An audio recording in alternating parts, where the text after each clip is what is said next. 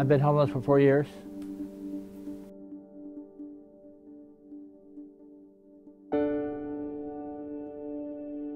I didn't even know anything about it until recently when I went to the IRS and they told me that somebody had used my name and everything. Somebody uh, filed income tax on me and uh, they made a lot of money and this and that, so that's where they want to investigate it.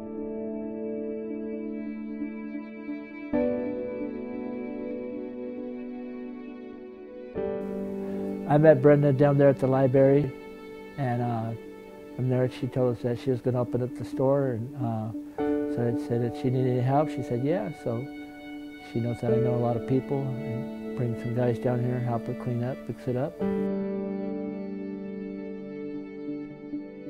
Well, they help me out with a lot of things that I need, and uh, help me a lot, and I try to do things for them and stuff like that. When I come down here, we help her uh, get the trash, sweep it up, fix up the place a little bit, do a little bit of painting, and whatever she needs done.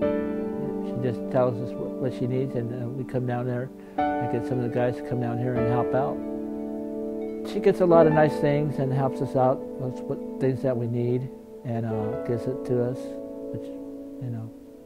So that's why I want to do something in return to help her out.